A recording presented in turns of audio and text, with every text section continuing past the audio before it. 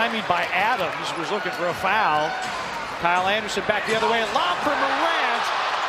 But off the mark and Morant steals it back. Behind the back. Kyle around Gibson. Yes, and the foul. Will this be the play that ignites the Grizzlies? The hustle play by Morant to steal it back, and now an and one for Kyle Anderson.